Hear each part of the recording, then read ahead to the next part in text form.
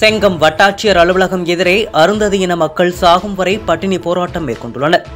திருவண்ணாமலை மாவட்டம் செங்கம் அடுத்த முன்னூர் மங்கலம் பகுதியில் வசித்து வரும் அருந்ததியின மக்கள் பல ஆண்டுகளுக்கும் மேலாக அடிப்படை வசதிகளான குடிநீர் சாலை மின் இணைப்பு இன்றி தவித்து வருவதாகவும் அவர்கள் குடியிருக்கும் பகுதி நீர்பிடிப்பு பகுதி என கூறி பல ஆண்டுகளாக பட்டா வழங்கப்படாமல் இருந்து வந்த நிலையில் கடந்த மூன்று மாதங்களுக்கு முன்பு மாவட்ட ஆட்சியர் வருவாய் கோட்டாட்சியர் மற்றும் செங்கம் வட்டாட்சியரிடம் குடியிருக்க மாற்று இடம் வழங்க கோரியும் குடிநீர் சாலை மின் இணைப்பு ஆகியவை வழங்க வேண்டும் என்றும் பலமுறை மனு கொடுத்தும் இதுவரை எந்தவித நடவடிக்கையும் எடுக்காததால் ஆத்திரமடைந்த பாதிக்கப்பட்ட மக்கள் செங்கம் வட்டாட்சியர் அலுவலகம் எதிரே குழந்தைகள் பெரியவர்கள் என ஐம்பதுக்கும் மேற்பட்டோர் சாகும் வரை பட்டினி போராட்டத்தில் ஈடுபட்டு வரும் நிலையில் தலித் விடுதலை இயக்கம் மற்றும் எஸ்டிபிஐ இயக்கம் அவர்களுக்கு ஆதரவாக பட்டினி போராட்டத்தில் ஈடுபட்டு வருகின்றனர்.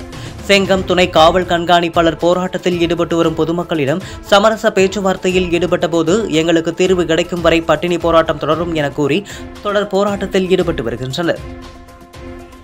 செங்கம் வட்டம் புதுப்பாளையம் ஒன்றியத்துக்குட்பட்ட முன்னூர் மங்கலம் கிராமத்தில் பதினஞ்சுக்கும் மேற்பட்ட அருந்ததிய மக்கள் வசித்து வருகிறார்கள்.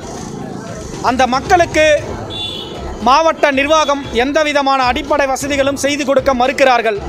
அந்த பகுதி மக்கள் இன்று செங்கம் வட்டாட்சியர் அலுவலகம் முன்பாக சாகும் வரை பட்டினி போராட்டம் நடத்தி வருகின்றோம். எங்கள் போராட்டம் நிறைவேறும் வரை இந்த பட்டினி போராட்டம் தொடரும் என்பதனை இந்த போராட்டத்தின் மூலமாக தெரிவித்துக் கொள்கிறோம்.